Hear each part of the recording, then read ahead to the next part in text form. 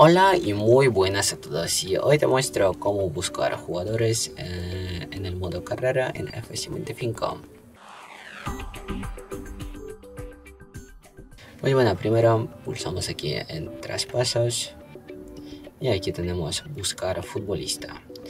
Y por ejemplo yo quiero buscar a Mudrik. Aquí está. Y podemos ver ese futbolista, también añadir a la lista del centro de traspasos, etc. Bueno, podemos comprar ese futbolista.